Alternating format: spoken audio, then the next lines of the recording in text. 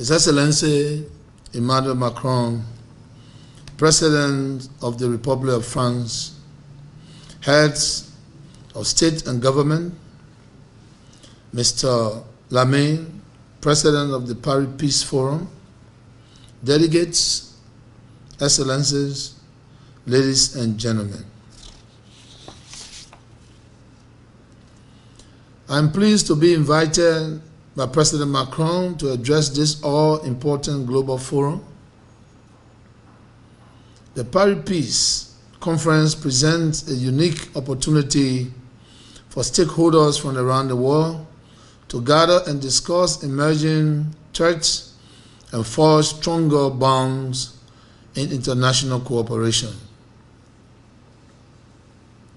This year's meeting comes at a challenging time for us all when we face a global health crisis.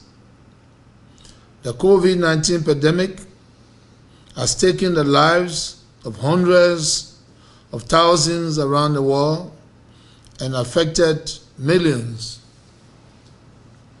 The disease continues to cause havoc on the economies of many nations, Liberia being no exception. Although it appears we are watering the storms COVID 19 could have posed to our small country, thanks to early interventions measures by my government with support from the World Health Organizations and others partners. The crisis came at a time when we were trying to resuscitate our economy. The lockdown measures negatively impacted those efforts, but the national development agenda has not been derailed. The pandemic has changed our way of life, but it has also given us more reasons to continue our efforts in order to meet global challenges.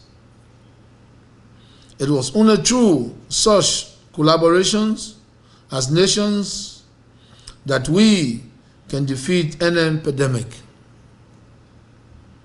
The time is therefore now that we come together as multilateral partners to contain COVID 19. Unless and until we mobilize our collective resources for actions against this unseen enemy, our citizens will continue to suffer from COVID 19. Together, as one world and one humanity, we will overall prevail. I thank you.